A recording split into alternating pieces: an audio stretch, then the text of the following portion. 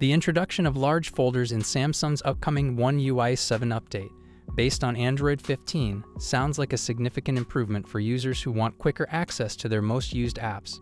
Unlike regular folders, large folders allow users to open apps directly from the folder with just one tap, streamlining the process and making it more convenient.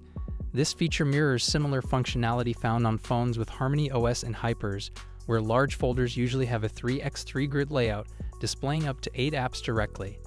The ninth slot typically shows a small icon for more apps inside the folder, which can be accessed by tapping it. This new feature aims to enhance user experience by offering a more efficient way to organize and access frequently used apps.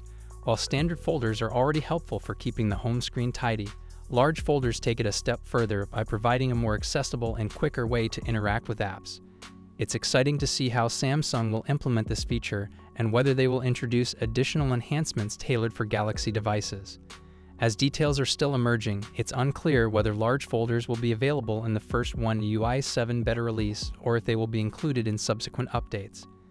This new addition could potentially make navigating through apps more seamless and user-friendly. What's your take on the potential of large folders in One UI 7? Do you think this feature will make a significant impact on how you use your device? Let me know in the comments section.